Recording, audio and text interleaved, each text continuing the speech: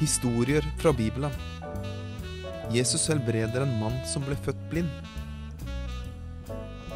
Dette er Jesus, Hei, hei. Guds sønn og verdens frelser.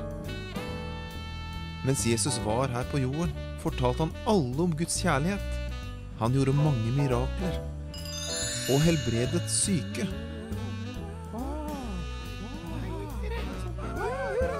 En dag Jesus gikk omkring med sine disipler, så de en mann som var født blind. Hei, Jesus. Og disiplene spurte om hvem sin feil det var at mannen var blind. Jesus sa at det ikke var på grunn av noens synd, men det var for at Guds makt kunne bli synlig igjennom han. Så spyttet Jesus på bakken og laget leire av det.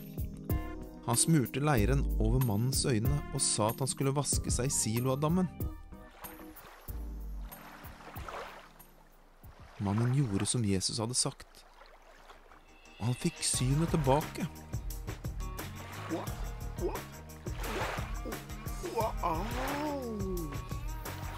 Mannens naboer og andre som kjente han som den blinde mannen, lurte på om det var den samme mannen.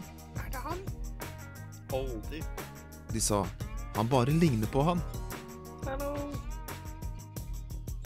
men den blinde sa det er meg. Da spurte folket hvem gjorde deg frisk? Og mannen fortalte om alt Jesus hadde gjort for ham. Folket spurte hvor er Jesus nå? Men mannen visste det ikke. Så folket tok med seg mannen til fariseerne fordi det var sabbat, og de mente at Jesus ikke skulle ha helbredet på sabbaten. Fariseerne spurte mannen om mange ting. Ja, se. Jeg kan se. Han svarte dem, 'Jeg var blind, men nå kan jeg se.' Fariseerne fortsatte å stille mange spørsmål. De fikk til og med tak i mannens foreldre og spurte dem ut. Men de ville ikke svare fordi de var redd fariseerne. Til slutt fikk mannen nok og ropte, 'Nå holder det! Jeg har allerede sagt dere det.